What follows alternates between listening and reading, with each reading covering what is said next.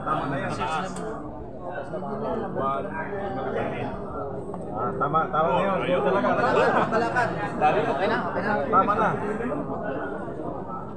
Actually, itong ginagamit mo ito, ito na yan eh.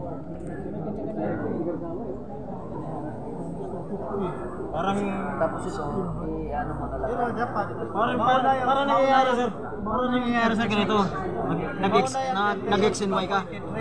Di ba? Coordinate ah, coordinate tapos ordinate.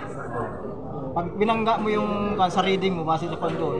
Halimbawa, 1 2 3 4 5 1 2 3 4 5. Ito yung lahat positive, positive, positive. Negative to. Pag nag-reading ka, di ba?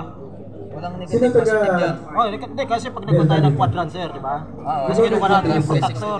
Oh, 90 degrees, ah, 90 degrees ito, 180, 270, 360. Nagmamaga... 90 degrees dito. Yun nga sir, ito. Hindi, 90 degrees ito. malaman Pag natin kinuha yung yung 90 degrees ito. dito. Yan, yan, yan, ganyan. Puro, puro 90, 90 degrees ilan lahat yan? Oh, 90 degrees, 180, 270, 360, kabuuan. Ang gamit ang protector. Ayun, may protector nga. Pero ito, May degrees yan. Ah, ba? 90 degree Pero nandito. pag nag-estimate ka na ron, Basta sergeant.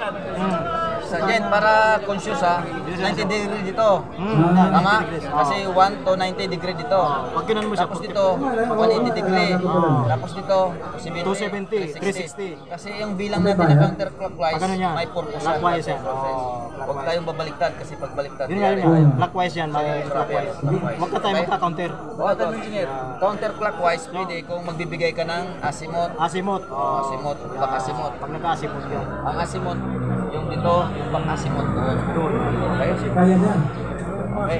Tapos tama, tama siya sir, di ba? Karamihan dito, north, south, east, west. Pero balik tayo doon sa kanto, yung pagsukat dito. Yan lang yun lang muna yung. Ito lang muna tayo. Ito, wala yan. Okay? Para hindi tayo malaw. Ay, para di balito. Tama ka na.